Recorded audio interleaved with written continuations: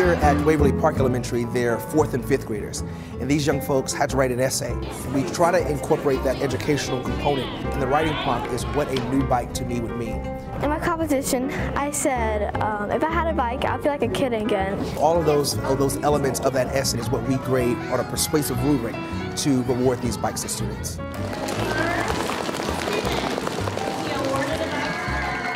For the Life of You Mentoring Foundation is an organization that emphasizes the importance of what I call recycling mentorship.